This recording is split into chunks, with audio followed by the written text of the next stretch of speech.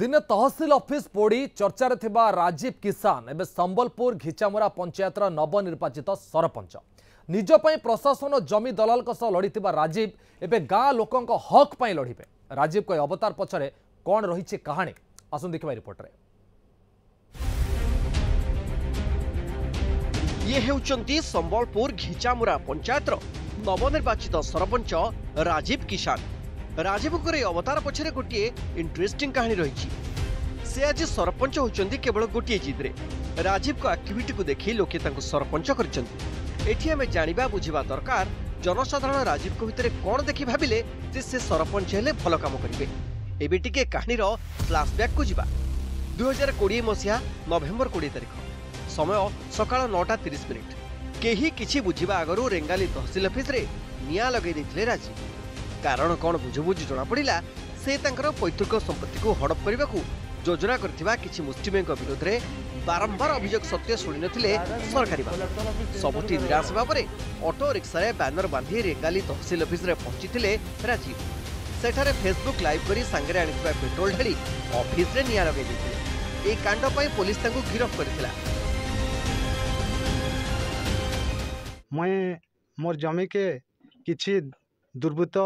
ବେଆଇନ ହିସାବରେ ଫର୍ଜରୀ ବିକ୍ରି କରିଥିଲେ ମୁଇଁ ବାରମ୍ବାର ପ୍ରଶାସନକୁ ଜଣାଲି ଏନ୍ତାକି ବିଧାୟିକା କାର୍ଯ୍ୟପାଳିକା ନ୍ୟାୟପାଳିକା ପାଖେ ଯାଇଥିଲି କେହି ମୋର କଥା ନି ଶୁଣିଲେ ଲାଷ୍ଟକେ ମୁଇଁ ବାଧ୍ୟ ହେଇଥିଲି ତହସିଲ ଅଫିସ୍ ଜଲାବାର୍କେ ଯେନ୍ ଜିନିଷଟା